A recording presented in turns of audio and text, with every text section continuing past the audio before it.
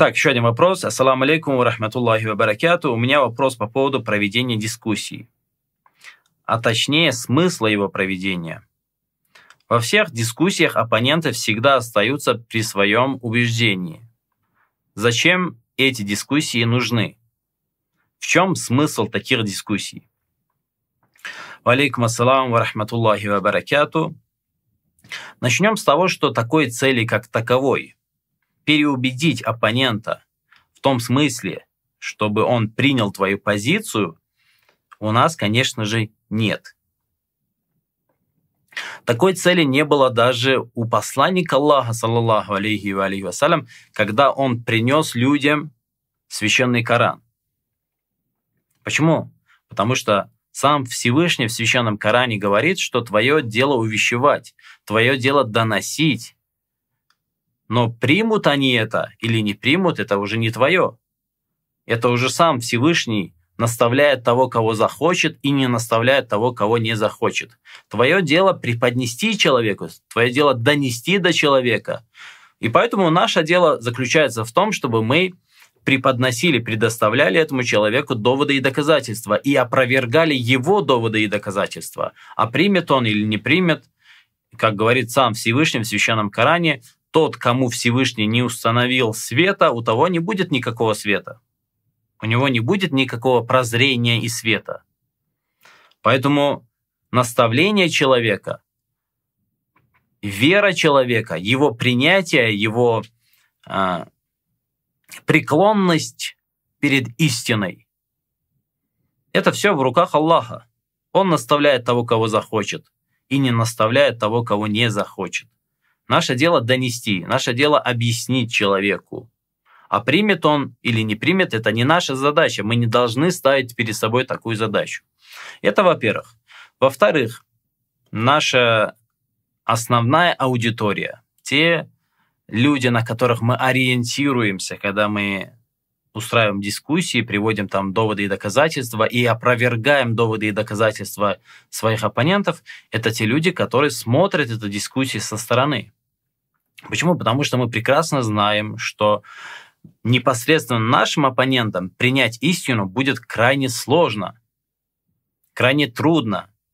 Почему? Потому что на них возлагают надежду другие люди – если они примут на дискуссии нашу точку зрения, хотя прекрасно понимают, что она истинная, она правильная, они попадут под шквал критики тех людей, которые прислушиваются к ним, которые имеют с ними одни общие взгляды. И все те люди, с которыми мы дискутировали, так или иначе критиковались своими единомышленниками просто за то, что они, в принципе, вышли с нами дискутировать, не говоря уже о том, чтобы они принимали нашу точку зрения.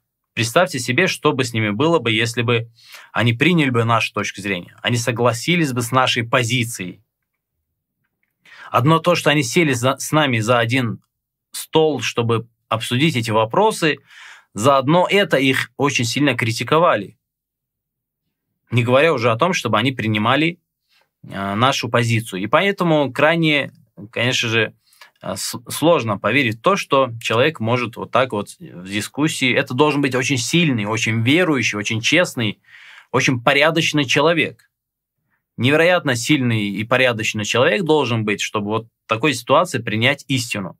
И поэтому это прекрасно нам известно, что подобным людям сложно принять истину.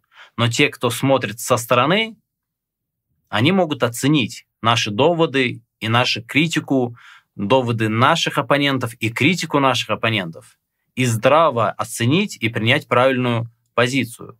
И поэтому, конечно же, наши дискуссии, они ориентированы на, на наших зрителей, которые имеют возможность объективно и непредвзято оценивать.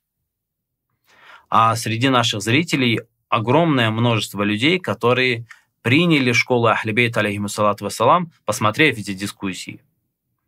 Я это говорю сейчас о тех людях, э, которые писали мне, с которыми я сталкивался. И сколько людей, возможно, есть, которых я не встречал, которые не писали мне, с которыми я не знаком, но которым эти дискуссии помогли найти истину, помогли найти э, правду. правду.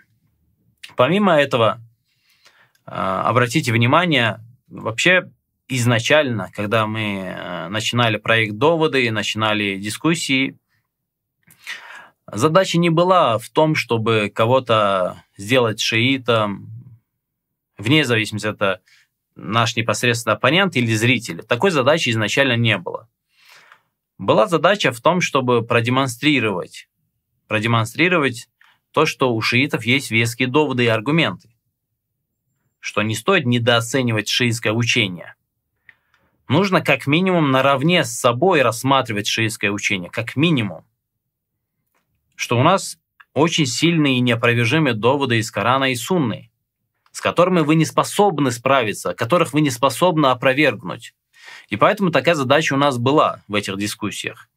То есть дискуссии, э, цели были не просто кого-то убедить в правильности каких-то убеждений, а скорее цель была важнейшая и первейшая цель была в том, чтобы познакомить людей, как своих оппонентов, так и зрителей, с настоящим шиизмом, а не с тем шиизмом, который имеется в представлениях этих людей, который вообще не аргументирован, не обоснован, что якобы вот шииты такие ползают в грязи, бьют себя, кровь свою проливают, еще какими-то непотребствами занимаются и так далее и тому подобное.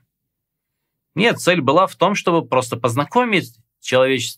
людей с шиизмом, показать им, что из себя на самом деле представляет шиизм, что это очень аргументированная рациональное, крайне рациональное э, учение, что это крайне рациональная, аргументированная э, точка зрения.